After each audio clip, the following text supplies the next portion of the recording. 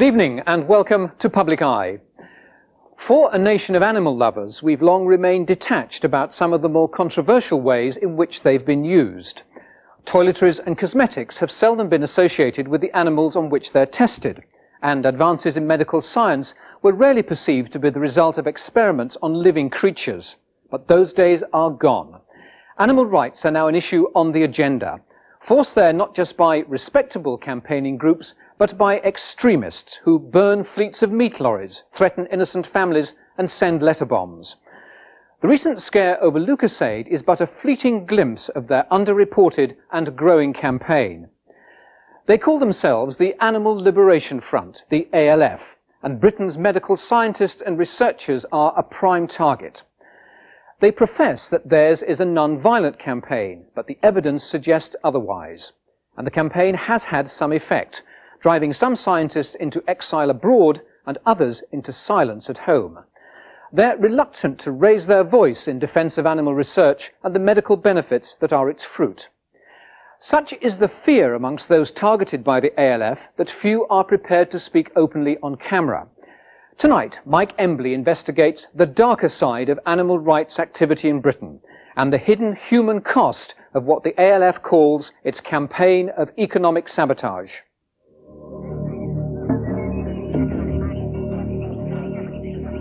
This is Northern Ireland. The images may look familiar. Pubs gutted by fire. Farm buildings and machinery burned out by arsonists. A score of attacks on businesses and clubs. Well tried tactics, but in an unlikely cause. Arson for animals. All this is claimed by the Animal Liberation Front. At first, of course, we thought it was the paramilitaries. Uh, there were several different types of paramilitaries in Northern Ireland. And this is what we really thought it was at the start. Uh, somebody getting back at me because I was Unionist councillor. But Stanley McCoy's butcher's shop in Newtownards, east of Belfast, was burned out with two incendiary devices by the ALF. A butcher for 10 years, he was also a vocal supporter of the local hunt. Either may have cost him his livelihood. I broke down in tears uh, and cried uh, when this premises went up.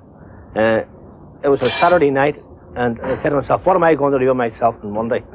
Has it stopped here, or has there been more since? Well, no, it hasn't stopped, no, really. Get telephone calls to the house. My children don't answer the telephone anymore. For the reason is that they asked my daughter, who is 10 years of age, my address. Somebody rang your house? They rang my house. And I don't feel that my children were safe. And actually, I'm thinking about moving house as well. For his part in promoting field sports, this man's home north of Belfast has been under siege for three years. John Beach is careful where he takes his walks. He checks beneath his car every day. The post brings him razor blades hidden in envelopes. Telephone callers tell him he's on an ALF hit list. It started with uh, telephone calls, uh, much abuse, uh, telephone calls every 20 minutes throughout the night, telephone calls to my colleagues at work who uh, were being abused, uh, who were uh, being threatened, and on a couple of occasions with death threats because they were involved with me. You can be as strong as you like, but after a while, when this has been going on for months and months and months, you do actually begin to think, well, I wonder what is going to happen. And I wonder what is going to happen to my family, what is going to happen to, to my colleagues at work when these threats are continuous. How would you describe what's been going on against you? In my view, they are terrorists. Because they cause terror? Absolutely. Terrorists of a particularly unpleasant kind, too. The masks, the whole image of the paramilitary is not new to the ALF. More disturbing in this spread from a Belfast tabloid is the parading of weapons. Public Eye's own inquiries suggest the claims about high explosive are untrue, but in the context of Northern Ireland, the message is unmistakable. Intimidation, severe and personal. Four men and a woman have been arrested here under the Prevention of Terrorism Act. Ten people may eventually face trial in connection with a string of incidents all claimed on behalf of the Animal Liberation Front. The charges include arson with intent to endanger life. They follow an operation by the Royal Ulster Constabulary which was considerable, even by the standards of Northern Ireland. Working on the case were 55 detectives from a specialist anti-terrorist surveillance squad.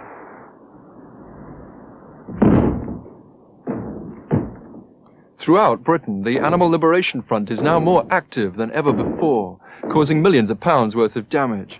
Police list 400 attacks with incendiaries since the mid-1980s, 100 in just the first six months of this year.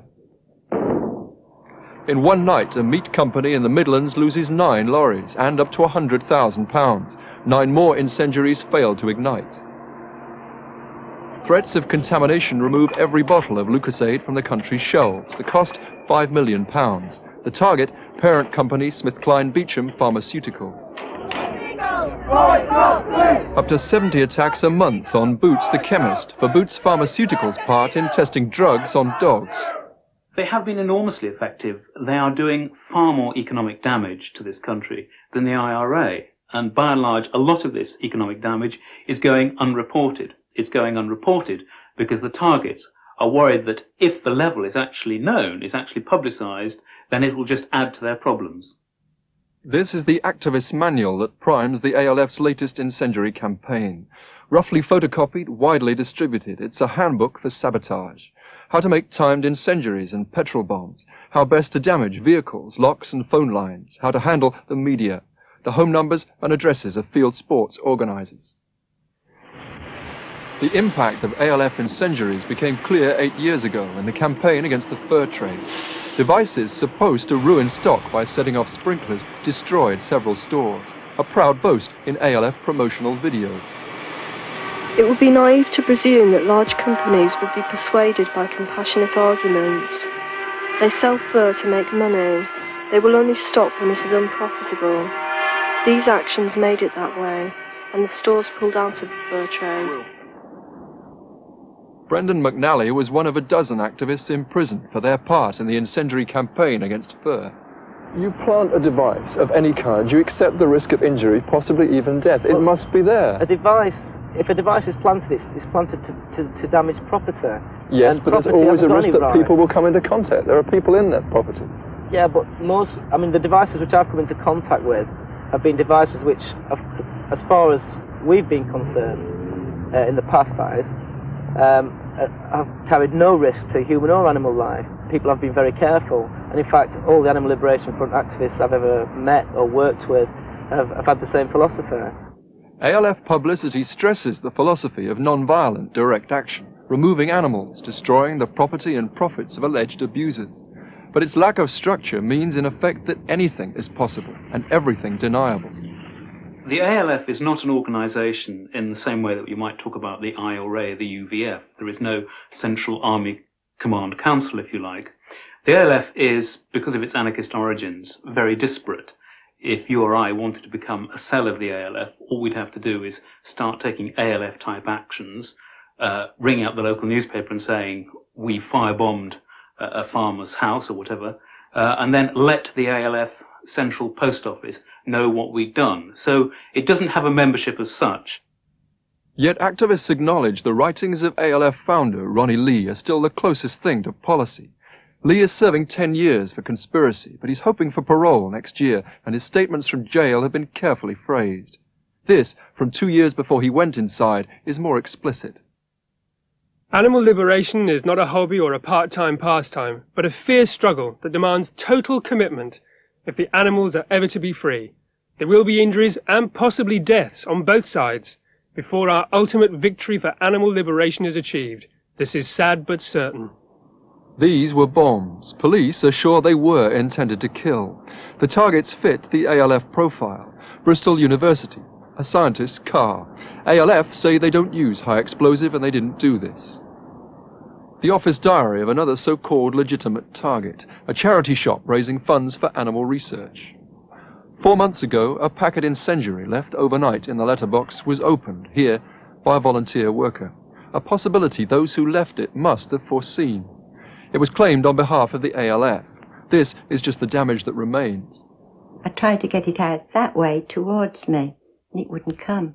So I turned it round and I opened it that way. There was a big flash and something went up the wall, and the next thing I looked at was all fire on the desk. Had I have opened it the other way, I got my hair down, which was long. It would have gone right into my face. It would have burnt my hair. And it would have burnt my face as well, so it would have been very, very dangerous. It's no good asking for animal liberation. They're not going to hand it to us. We've all, when we leave here, in our own way, we've got to go out and take it. The ALF's public spokesman calls explicitly for direct action. But letter bombs, he says, like car bombs, are not ALF policy. They're part of a conspiracy.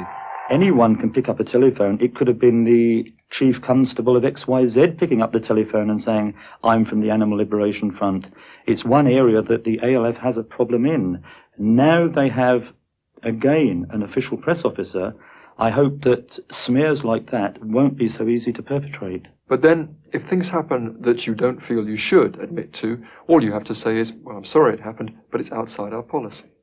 No, it's quite simple. The ALF has a policy, and I either say it is within or without it. I have no power to say, um, to change the policy. It's up to the activists who have laid down the policy in the past, and there is no reason to change it. But you can see how activists who are fiercely committed to what they think is policy could do almost anything. It's up to an individual what they do. I'm not promoting or inciting them to do anything. If an individual carried out an action which was outside ALF policy, it's up to them in whichever manner they wish to claim it. Um, I wouldn't necessarily condone that action on behalf of the ALF. I would, however, be prepared to understand how they've been driven to such an action by the sheer horror and scale of the suffering that's played on their mind. Would you condemn it?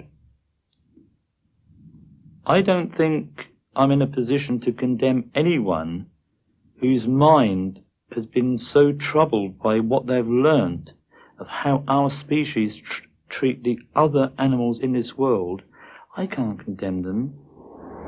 The passions that turn animal liberation to violence are at their most ferocious on the issue of animal experimentation, vivisection. The campaign against this kind of medical research goes far beyond removing animals from labs like this. Bombs under cars, labs burned to the ground. And it's a conflict with no end in sight because feelings run high on both sides. Many scientists say they cannot do their work without working on animals. Professor Sir Roy Calne paints portraits of his patients. It's only his hobby. He's better known worldwide as a pioneer of transplant surgery, especially for children. Hello, Tamara. You can eat those baked beans. They're good for your new liver. His techniques, all developed on animals, could save Tamara's life. It's her third time, and I hope it's third time lucky. She's really been through it, poor little Tamara. She'll have to get her top knot hairstyle again, because I like that. But there's been an attempt on his life. No, she's doing well. Keep it up. I was sent a bomb, uh, personally. Uh, the staff, the young, particularly the young staff, have been very frightened by raids on the animal uh, laboratories. Whenever these people steal dogs that have had transplants or pigs that have had transplants, they make uh, a child like Tamara more likely to suffer because it means that they're more likely to reject because they're holding back developments in drugs. So maybe those who support them should think about that a little bit. Is that really what they want? New drugs will decide Andrew Hardwick's Right. future. How are you? All right, thank you. You just come up for a check. Now 10, he was given a new liver at the same time as Ben Hardwick, Britain's best known transplant patient. Seven and a half years, is it? Yeah. Ben died. Andrew has survived, longer than anyone. Not very many pills now. Two a day, is it? His father calls him the living proof. Give my love to your dog. Sir Roy Calne said he would look at Andrew. We brought him down. He said he would see what he could do for him. And thankfully that he did something for him due to the work he's done. And without him, well, all this board here now wouldn't be here. But for the work Sir Roy's done. Have you been actively considering at any stage whether it can be done without animal experimentation? Well, some things one can do tissue culture experiments, one can do chemical reactions, and these are always done when they can. They're far easier to do, they're far cheaper, and they're also um, it's much more satisfactory because nobody that I know working experimentally with animals uh, enjoys doing it for the sake of the experiments on the animals, but they feel it's a necessity. Those experiments put laboratory staff in the front line. There have been two raids here at Cambridge to remove animals in the past five months alone. The second raid occurred after lunch one afternoon. 30 people with cameras and video cameras who knew exactly where they were going, who were there to photograph, um, not to bother the staff as such, but they did take some dogs while they were in the building. What does it feel like living in this kind of atmosphere? Well, it's not very pleasant. It's um, the equivalent, really, of being burgled. But on the other hand, when your home is burgled, you're not usually there. So, in other ways, it's more personal because they, they came in when you are there. The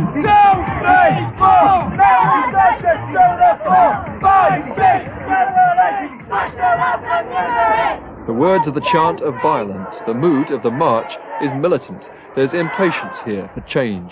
This is Animal Rights on the Move in Sheffield last month under the banners of the National Anti-Vivisection Society. Direct action for animals is much in favour here. The ALF are good and I support what they do because um, I don't think that animals should be left in laboratories. So if they if they want to get them out, then they can. They've got my whole support. As far as the violence goes, I'm not for the violence, but as as far as economic sabotage goes, you know, smashing labs, because that's the only way we can get the information. Well, unfortunately, people want to see an end to it now, overnight. People haven't got the patience to wait because it will end. It will end through public pressure. Animal rights is something very different from the idea of animal welfare, which is what we were all brought up on. The love of animals, a sense of human beings having duties towards animals. Animal rights suggests that animal rights are equal to those of human rights. They're a parallel, separate, but equal set of rights that animals should enjoy and therefore that all species um, enjoy equal rights under the natural law. What has happened in the last 10 years is that, by and large, the philosophy of animal rights has overtaken uh, beliefs in animal welfare amongst the rank and file of people who belong to mainstream groups.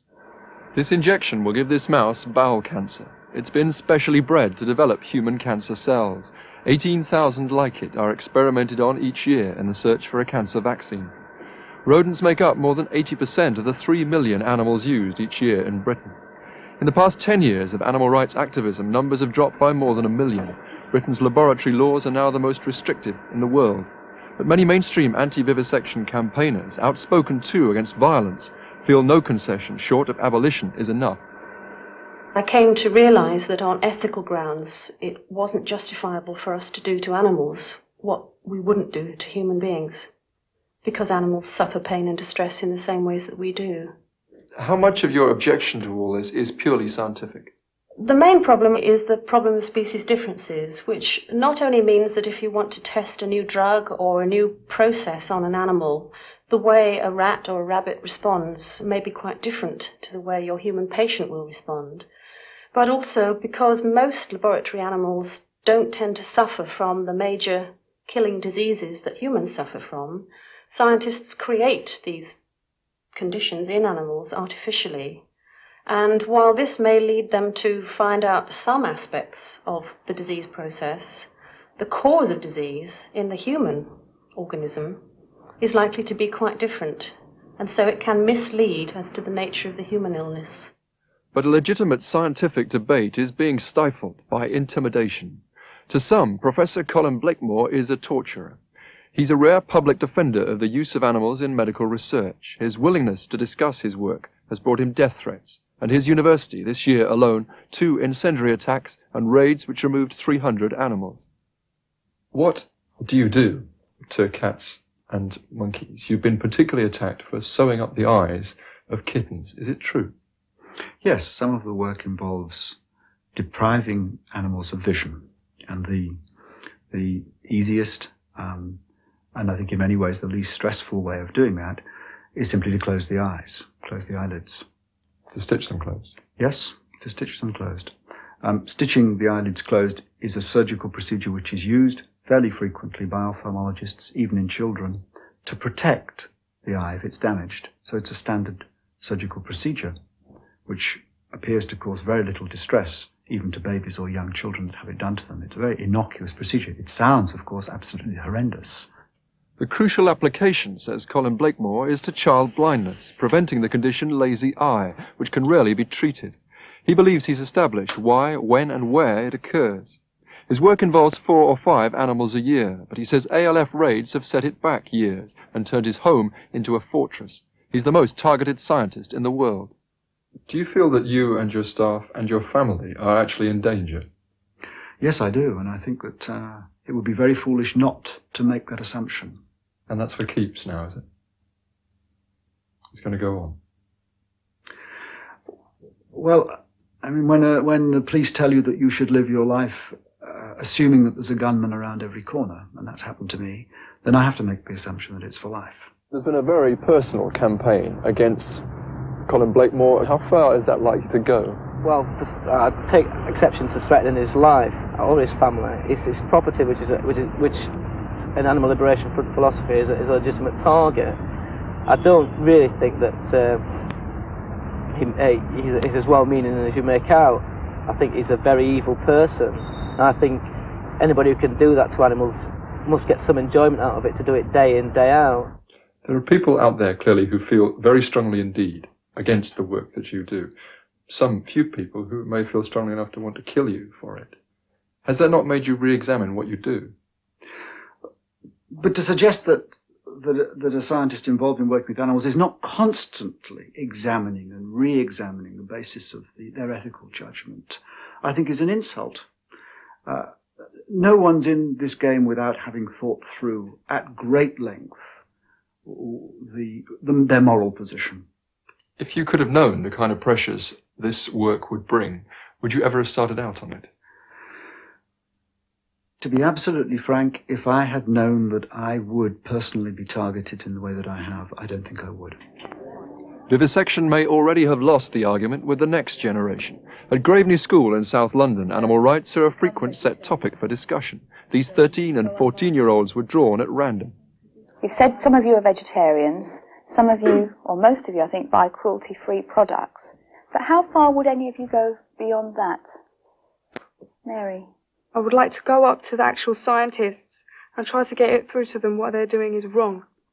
And that mm, the, the majority of the population does not like it at all. Does anybody feel that we haven't or we have had enough information from scientists about why animal testing has to be done? I think that this kind of thing actually tells people enough what they need to know. I mean, it explains what they test the animals for, and like explains how they do it. And I think that if the scientists really wanted to get their point across that badly, then uh, they would actually put things forward, like leaflets like this, and put organisations explaining. We have the evidence. We've put together our facts. Our case is strong. Animal experiments don't work, and the law cannot work. Jan Creamer heads the National Anti-Vivisection Society, one of the wealthiest animal rights groups. It supplies tens of thousands of information packs to schools like Graveney. The case for animal experimentation, she says, is non-existent. It hasn't achieved anything and it doesn't work. And uh, our opposition are very fond of listing whole hosts of uh, so-called medical progress, which they claim for themselves at the expense of clinicians who've worked with people. Do you have the medical expertise and the scientific knowledge to make these judgments? Yes, we have our own library. We've looked at the scientists' papers. We can translate the medical jargon. After the NAVS rally in Sheffield, an exhibition with many stalls, a large selection of ALF merchandise at one of them. The NAVS has published material from raids by Liberation Front activists in its own magazines. Do you pay for the materials that you use? I mean, materials taken from laboratories and research establishments? Um, we tend to. Um, oh, let's stop there. The question do you pay for the material that you publish from the ALF? I ask the question because that is obviously a clear way of supporting their activity, if indeed you do that. Mm. Do you want to say it again? I'd be grateful if you'd answer the question. You, don't you want to ask me the question again? Do you pay for material I'm illegally only asking obtained? for a prompt. Do you pay for material illegally obtained by the ALF and published in your publications? We have done uh, paid for material in the past uh, for photographs and things like this. You paid £5,000 at one time to the Central Animal Liberation League. That was for the purchase of uh, photographs and uh, uh, copies of information. And for example, with the investigations uh, that we do now, I mean, obviously we have to fund um, an investigation of that kind.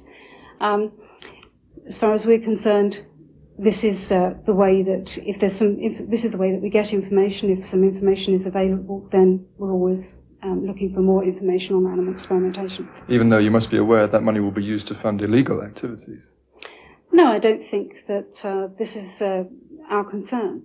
What uh, we do, in the same way as other organisations do, is we constantly look for i- information for, from laboratories, and um, if it's available, then uh, we take it. Since we recorded that interview, Jan Creamer has sent Public Eye a statement. She says, NAVS opposes all violence to humans and animals. It supports non-violent direct action. The bulk of the material we receive is freely donated to our cause. We have never and would never fund illegal activities. NAVS in no way supports or approves of the activities of extremist groups and deplores any illegal action which may threaten the well-being of the general public. So-called terrorists I know are the really compassionate people, and I'm proud to stand here and say that I'm a friend of Ronnie Lee. At the same rally in Sheffield, Robin Webb, RSPCA council member, names his ALF heroes. And everyone else who has been in jail, who is in jail, and will go to jail for the animals. They are the heroes of the movement. They are the hope for the animals. Robin Webb was advocating direct action in an ALF magazine a year ago.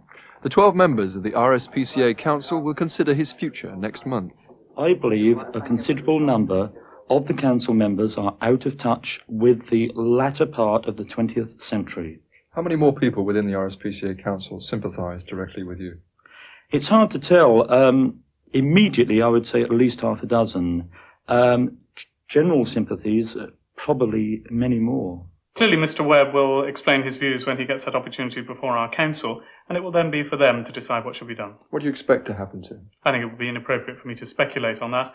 They're intelligent people, they'll come to their own conclusions. But it must have been quite clear, for around a year at the very least, that there were people within your organisation who wanted to take a much more militant stance, quite against your regulation. There may well be people within the organisation who have differing views to those of the mainstream of the RSPCA, but the RSPCA's politics and policies have always been overtly clear.